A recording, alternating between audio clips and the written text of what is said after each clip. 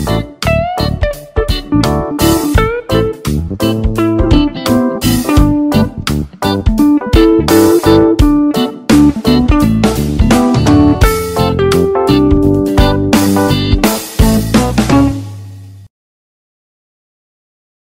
friends welcome to my channel finance and ഇന്ന് discuss ചെയ്യാൻ പോകുന്നത് ഗ്യാപ്പിനെ കുറിച്ചാണ്.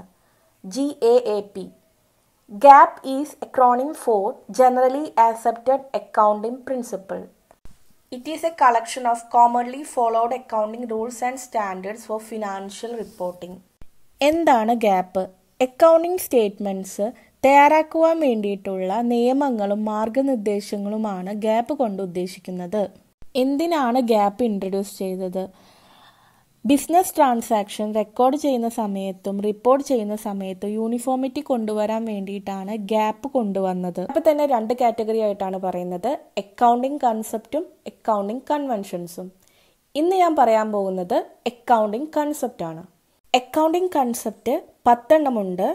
Business entity money measurement cost going concern revenue recognition dual aspect accounting period matching, accrual, objectivity.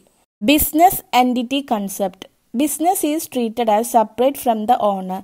This concept is important and implies that a business is separate and distinct from the persons who supplied capital to the firm.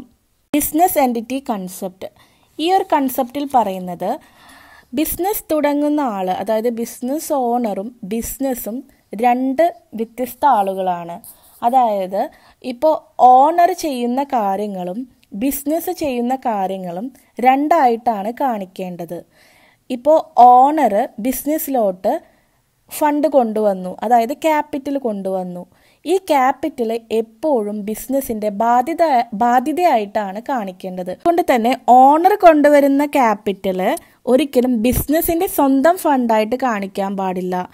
പകരം capital liability സൈഡിലാണ് post ചെയ്യേണ്ടത്.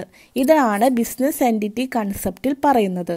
ഈ measurement concept transactions which can be expressed in monetary terms all transaction should be expressed in only in money.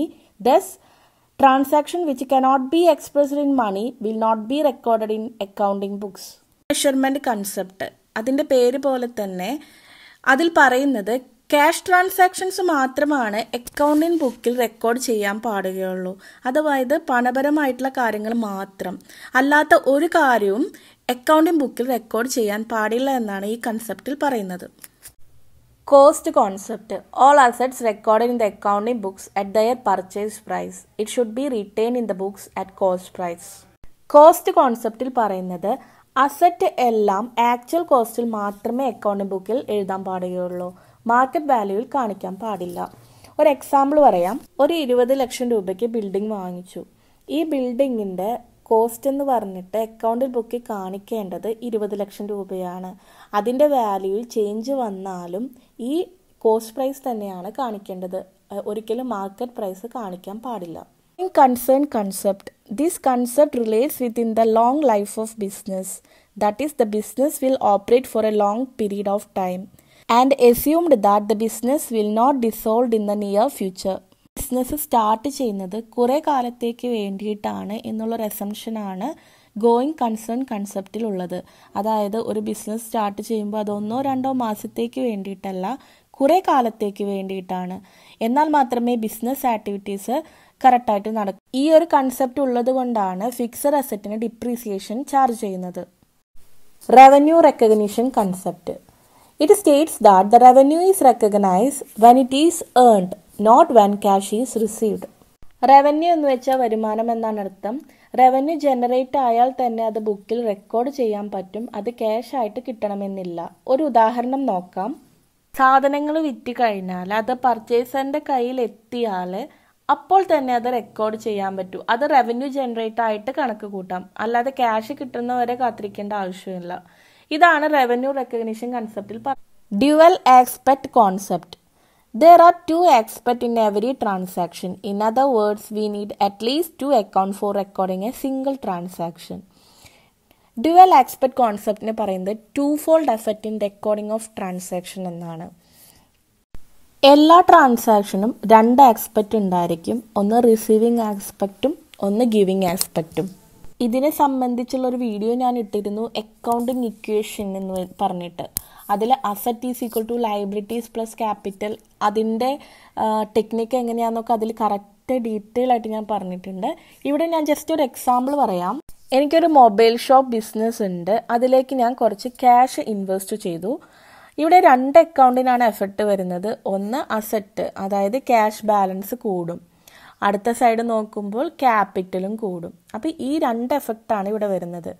അപ്പോൾ എപ്പോഴും ചിന്തിക്കുക ഓരോ transaction നടക്കുമ്പോഴും dual effect ഉണ്ട്. ഇതാണ് ഡ്യുവൽ ആസ്പെക്റ്റ് കൺസെപ്റ്റിൽ പറയുന്നത്.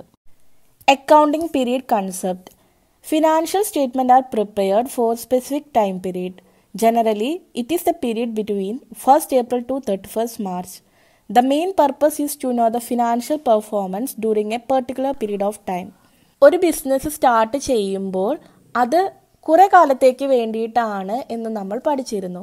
പക്ഷേ അതിന്റെ ഫിനാൻഷ്യൽ സ്റ്റേറ്റ്മെന്റ് പ്രിപ്പയർ ചെയ്യുമ്പോൾ അത് റെഗുലറായിട്ട് ചെയ്യണം. അത് ഒരിക്കലും ആ ബിസിനസ് അവസാനിക്കുന്നത് നോക്കിയിട്ടിരിക്കാൻ പാടില്ല. ഈ ഇങ്ങനെ റെഗുലറായിട്ട് ചെയ്താൽ മാത്രമേ നമുക്ക് അതിന്റെ ഫിനാൻഷ്യൽ റിസൾട്ട് എന്നത് അതായത് പ്രോഫിറ്റിലാണോ ലോസിലാണോ എന്നറിയണമെങ്കിൽ അതിനൊരു റെഗുലർ പീരീഡ് ഓഫ് ടൈം ഉണ്ടായിരിക്കണം. ജനറലി ഒരു അക്കൗണ്ടിങ് പീരീഡ് എന്ന് പറയുന്നത് ഫസ്റ്റ് ഏപ്രിൽ മുതൽ മാർച്ച് തേർട്ടി ഫസ്റ്റ് വരെയാണ് matching concept expenses in an accounting period should be matched with the revenues during that period expenses are realised when it happens not when the payment made matching കോൺസെപ്റ്റിൽ പറയുന്നത് വരവും ചെലവും compare ചെയ്യണം. വരുമാനത്തിനനുസരിച്ചായിരിക്കണം ചെലവ് ഉണ്ടാകേണ്ടത്. വരുമാനം എത്രയാണോ accounting ബുക്കിൽ എഴുതിയിട്ടുള്ളത് അതിനനുസരിച്ചുള്ള ചെലവുകളും അക്കൗണ്ടിൽ ബുക്കിൽ കാണിക്കണം. ഈ ഒരു കമ്പാരിസൺ ചെയ്താൽ മാത്രമേ പ്രോഫിറ്റ് ആൻഡ് ലോസ് അറിയാൻ പറ്റുകയുള്ളൂ. എക്സ്പെൻസ് ആണ് കൂടുതലെങ്കിൽ അവിടെ ലോസ് ആയിരിക്കും വരിക. ഇൻകം ആണ് കൂടുതലെങ്കിൽ അവിടെ പ്രോഫിറ്റ് ആയിരിക്കും വരിക.